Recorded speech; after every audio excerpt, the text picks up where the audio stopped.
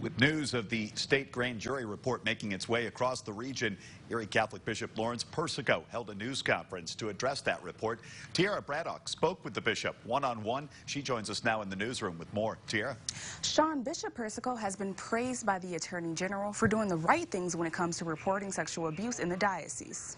We will fight The grand jury report on child sexual abuse by Catholic priests has shaken up Catholic dioceses all over the state, including in Erie. Bishop Lawrence Persico held a press conference Tuesday afternoon to address the report and how the Diocese of Erie will move forward. The grand jury has challenged us as a Catholic diocese to put victims first and to continue to improve ways to protect children and youth. The report revealed that 41 priests in the Diocese of Erie were identified as predator priests. During the press conference, Bishop Persico said he is willing to meet with victims of these sex crimes. A lot of times, victims are not going to want to meet a priest.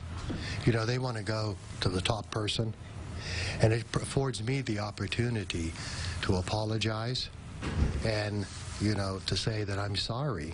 Bishop Persico also pledged the diocese will continue to publicize and provide counseling to victims. Before the report came out, the Diocese of Erie created an online forum designed to provide support and a place to report sexual abuse. In addition to the grand jury report, the Diocese of Erie released five additional names of priests who are accused of abusing children. It says to them, you believe me because my perpetrator is on a list.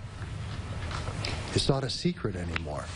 Bishop Persico says in the future, the Diocese of Erie will always turn over any allegations of abuse to the proper authorities and will remove priests once authorities finish their investigation.